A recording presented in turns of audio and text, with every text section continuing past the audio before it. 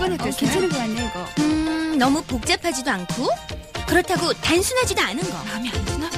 그러게 말이야. 아니 그거 좋은데 아, 이것도 별로. 이런 건 아니에요. 적당히 아. 튀면서도 요란하지 않은 그런 거 말이에요.